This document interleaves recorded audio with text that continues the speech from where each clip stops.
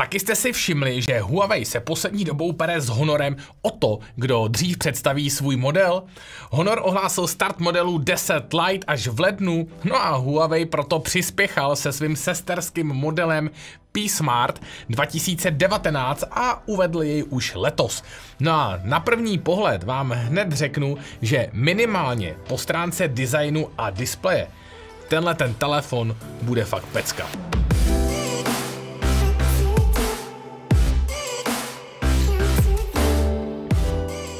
To, co dříve až na výjimky bylo výsadou vyšší třídy, tedy krásný design a bezrámečkový displej, se příští rok evidentně chystá i do nižší třídy, no a vypadá to, že nevzhledným centimetrovým rámečkům konečně odzvonilo. Takovou první vlašťovkou byl Huawei Y7, ale tenhle ten P-Smart 219 si hravě strčí do kapsy. Hned na začátku je totiž potřeba říct, že tenhle ten sympatiák stojí 5990, což je v době vydání recenze jen o tisícovku víc než Y7, no a ta tisícovka navíc se fakt vyplatí. Po designové stránce mi barevné provedení asi nejvíc připomíná nedávno recenzovaný Xiaomi Mi 8 Lite. Záda jsou nádherná, duhová, ale hned jsem narazil na jeden problém, za který nepovažuji už tu samozřejmou patlavost. Jedná se o nalakovaný lesklý plast, který má tendenci bohužel k poškrábání.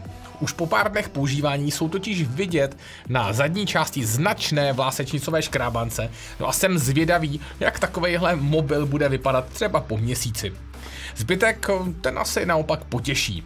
Ať už je to uložení průměrně rychlé čtečky otisků prstů, bočních tlačítek, vše ideálně přesně na dosah ruky. Jedinou věc, na kterou si dejte pozor, je při vysunování hybridního šuplíčku SIM karty a paměťovky, kam ten zpropadený špendlík strkáte.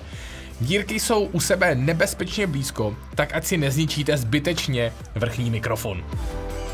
Full HD plus display P-Smartu 219 je vyroben technologií IPS a je jednoduše skvělý. Rámečky jsou úzké, noč je miniaturní, brada také docela ujde, zkrátka v této cenové kategorii si vážně není na co stěžovat. Na papíře sice vypadá velikost 6,2 palce enormně, ale právě díky úzkým rámečkům je to pocitově značně menší. Pochválím i maximální jas, který jsem sice neměl možnost porovnat na denním slunci, ale tak jak působí, je to za mě úplně v pohodě. Po hardwareové stránce se jedná o velice slušnou výbavu.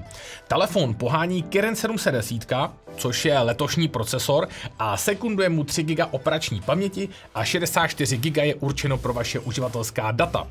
Antutu Benchmark se zastavil na velice slušné hodnotě 131 000 bodů. S takovým skóre totiž nebude problém si zahrát ani celkem náročné hry, i když 4 GB by telefonu samozřejmě slušelo víc. Jsou tu ovšem i negativa. Přece jen už bych od telefonu pro rok 2019 očekával za 6000 USB-C, diodu bych z nepochopitelného místa dole vrátil třeba nahoru vedle sluchátka, no a když už jsme u toho zvuku, ten je sice dostatečně nahlas, ale zní jako z plechovky. Aspoň, že je tu 3,5 mm jack pro kvalitní poslech přes drát, no a nebo Bluetooth 4.2 pro bezdrát.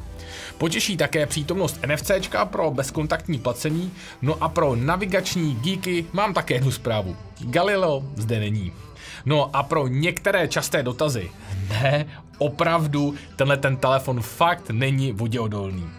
Každopádně, pokud někomu jeho oblíbený parametr chybí nebo jsem ho neřekl, stačí si kliknout sem tady nahoru, no a můžete si zhruba 100 parametrů u nás na stránkách přečíst, nebo si tam rovnou porovnat s nějakým jiným telefonem.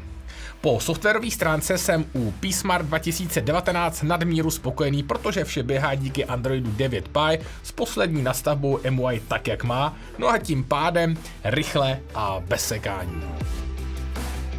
No a teď pojďme konečně na foťák. Na zadní straně je soustava dvou foťáků z P20 Lite, kdy hlavní má 13 megapixelů se světelností 2.2, no a druhý je určen pouze pro portrétní režim. Oproti předchozímu P-Smartu však přibyl nápis AI kamera, který značí, že k úpravám došlo zejména na poli zpracování fotek. Telefon rozpozná velké množství scén, podobně jako na Honoru 10, avšak výsledné fotky jsou samozřejmě o poznání horší než na tomto vlajkovém modelu, který ovšem samozřejmě jednou tak dražší. Huawei P Smart 2019 svým foťákem opravdu žádnou revoluci do střední třídy nepřináší a zařezuje se do průměru své kategorie. Tím spíš nepřekvapily ani fotky za nedostatečného osvětlení, kdy se ztrácí veškeré detaily, telefon má problém scénu zaostřit, no a výsledná fotka připomíná spíš akvarel než nějaký aspoň trošku použitelný snímek. Jak už to bývá u téhle levnější třídy, to všechno pomine v momentě, kdy je venku světla dostatek, no a fotky pak vypadají opravdu použitelně. Pak už jen záleží na vás, zda chcete fotky prokreslenější, no a zvolíte AI režim, kdy obloha je modřejší, no a třeba pomyslná pampeliška žlutější, anebo dáte přednost střízlivějšímu podání barev a AI režim vypnete. Pokud se dostaneme ke stále oblíbenějšímu portrétnímu režimu, Marně přemýšlím, jak trefně přeložit do češtiny anglické hit or miss. Možná by se dalo použít české jak kdy. Myšleno tím, že portrétní režim vyhodnotí scénu po každé jinak, no a nutno říct, že bohužel většinou špatně a je potřeba vyfotit vždy aspoň 5 až 6 fotek a vybrat pak tu trošku povedenou. Výhodou každopádně je, že úroveň rozostření si potom následně můžete upravit v galerii dle libosti a módu rozostření je na telefonu více. Zde je totiž totální inspirace Applem, za mě bych však řekl, že lepší by bylo udělat jeden mód pořádně, než pět módů špatně. Dokonce se mi občas stávalo, že po vyfocení přes nějaký z těch módů přestala aplikace foťáků reagovat na tlačítko focení a to se mačkalo na prázdno a fotky se neukládaly žádné. To je každopádně ale doufám, aspoň pravděpodobně softwarový problém prvních verzí, který by měl být v nejbližších softwarových aktualizacích odstraněn. Z dalších režimů foťáků potom palec nahoru v téhle cenové kategorii za přítomnost pro režimu, kde si můžete veškeré hodnoty expozice nastavit sami. K dispozici je i AR režim s různými přelepkami na váš obličej, panorama, časozběr a malování světlem. Video lze natáčet maximálně ve Full HD při 60 snímcích za vteřinu, no a žádný slow motion speciální režim teda tím pádem přítomen není. Přední selfie kamerka je 8 megapixelová, no a protože je určená pro selfie, tak vám řeknu, že ano, selfie vám to udělá a pokud chcete vypadat jako panenka Barbie, tak eh, beauty režim tady je a nastavit si ho můžete zase dle libosti. Huawei P Smart 2019 disponuje baterií o kapacitě 3400 mAh, což je ve své kategorii lehký nadprůměr a musím pochválit, že telefon mi vydržel bez problémů dva dny. Jak už jsem říkal, dobíjení probíhá prostřednictvím mikro USB a rychlý nabíjení zde bohužel nenajdete a celkově nabíjení proto trvá lehce přes 2 až 4 hodinky. Pojďme si tedy P-Smart 219 chrnout.